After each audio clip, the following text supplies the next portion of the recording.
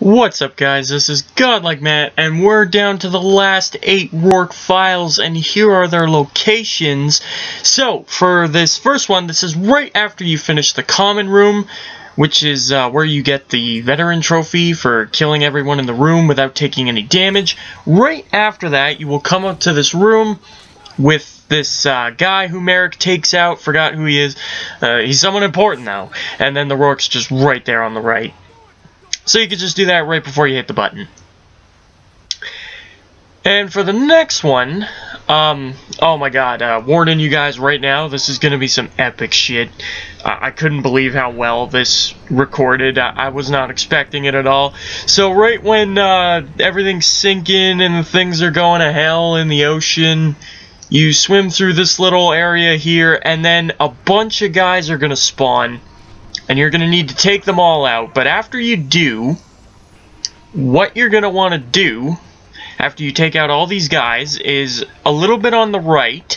If you go up, you'll see the Rorke file sitting on a rock. But wait! I'll rip your head and shit down your neck. Don't let anyone ever get in your way of getting a trophy. Because shit will go down, and it won't be good for them. So for the next level, this is right when you get into Black Zone, I believe it's called. Uh, you're going to come up to this door in this white looking hallway. This hallway looks so much like Dead Space. Uh, that looks like one of the rooms in the Ishimura.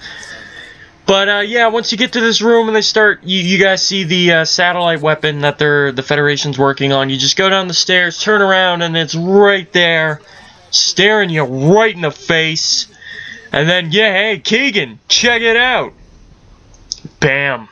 Cue the blow yourself up. So for this next one, this is right where you get the uh, jackpot trophy, right after you crouch under this gate. You're going to want to make a left instead of going right, and it's right there staring you right in the face. Some of these Rorke files, just, they were hidden so well. Cue the blow yourself up.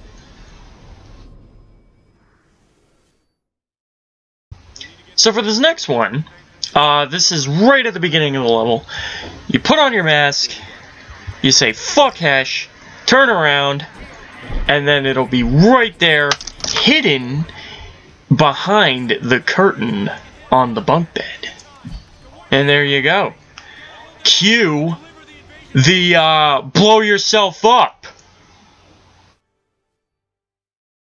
So for this next one, this is right after you launch the missile. You watch it go up, and then Hesh contacts Merrick, tells you what's going down, and then he's like, oh shit, Rorke's here? Yeah, let's get him. So, uh, right after you figure that out, and the clock is ticking, you go down the stairs, just follow Hesh.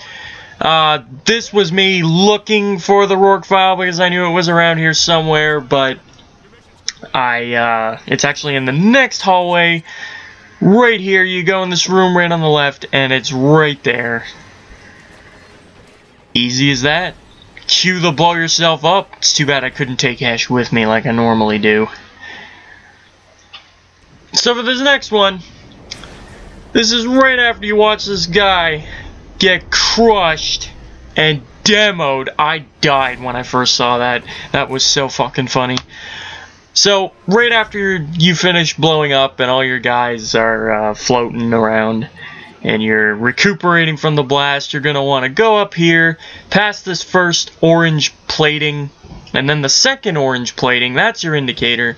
The Rorke file will be right in front of it, right over here floating in space. Can be hard to notice because it might be facing an awkward direction because it's floating, but it's there, so just look around.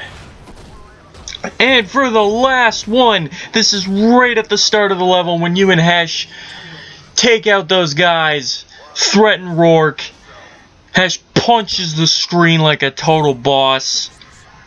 And then the Rorke file is right behind you. You just go back here, and there it is.